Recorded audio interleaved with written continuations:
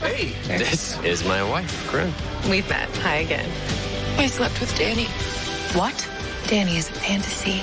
Adam is Josh's father, right? Corinne,